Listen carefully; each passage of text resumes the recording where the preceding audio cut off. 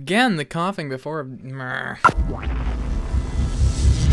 Hello, welcome back to another video. Today we are readdressing the sending documents through Facebook Messenger only because someone so graciously uh, called me out on a old video that they think should be deleted, but I disagree. Instead, I'm making an update video. You're welcome.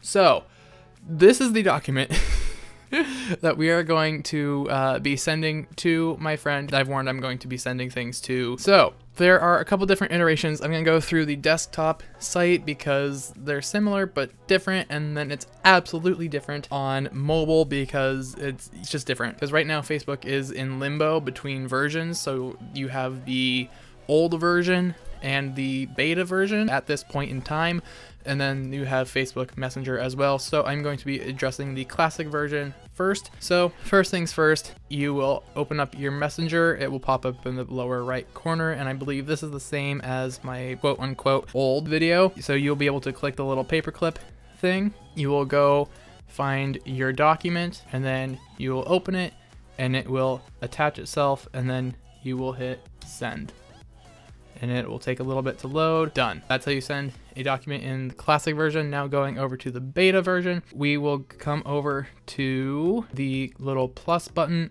and click the paper clip to attach a file. And again, we will select our document, select open, and hit enter. We could add some text if we want, but whatever. Boom. That's how you add that document to the chat.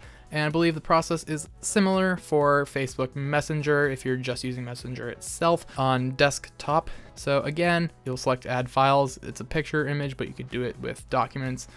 Boom, open, attaches. You can add some text if you want, yada yada, and then boof, sent. All right, so now we need to switch over to the mobile version and that's where this gets tricky kind of. Not really, but it's different. So the way you do this on mobile is very different than it, how it used to be, and I think this is what most people were complaining about. And this is the thing where it's definitely changed. They do not give you an option to attach a file within your images, and clicking this does not give you an option to send a file like we can on the desktop version.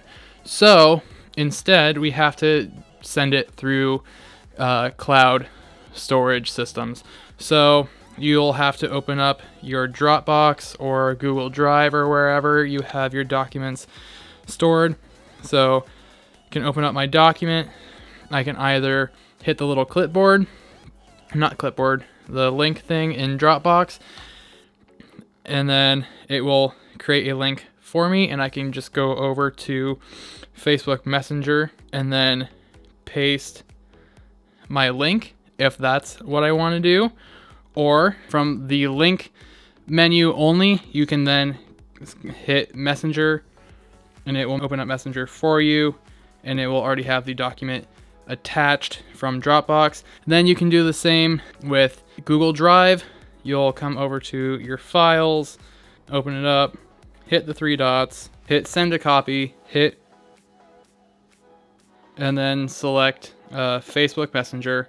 It will download, and this can take a while. Either way, it'll give you a similar page to what happened with Dropbox. I'm not waiting for this. Then if for, if for whatever reason that's not working or it's taking too long and you have no patience, you can, of course, hit the three dots again and then hit copy link, go back over to Facebook Messenger and hit that's Dropbox go over to Facebook Messenger and hit paste link and then you can hit send. So that is how you send a document on Facebook Messenger, both on desktop and on mobile, and mobile sucks, I'm sorry. But anyways, thank you guys so much for watching. If you enjoyed this video, you can give it a big thumbs up, and you can click all the things in the end card, and I will see you guys in the next tutorial.